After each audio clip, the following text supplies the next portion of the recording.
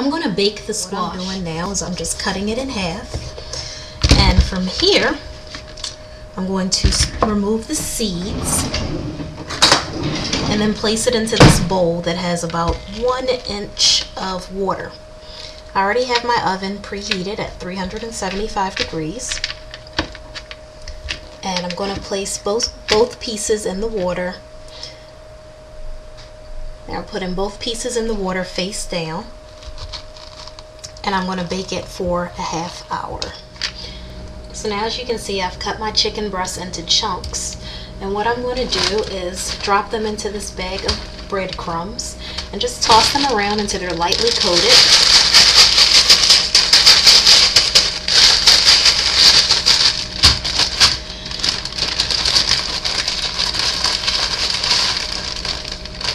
And then once they're lightly coated, I'll place them directly into the baking dish.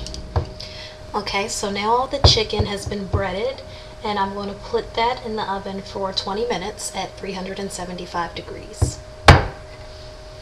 Pull the chicken out of the oven. It's been baking for 20 minutes. Now what I'm going to do is just drizzle it with honey. And that's going to melt. You'll see it melting right on the chicken because it's so hot and then I'm going to top it with sesame seeds. If you want, you can toast the sesame seeds. I've decided to steam some broccoli just to round out the meal. So I just threw some frozen broccoli in the pot.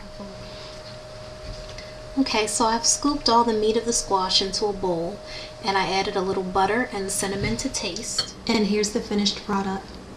Honey sesame chicken, butternut squash, and steamed broccoli. Enjoy.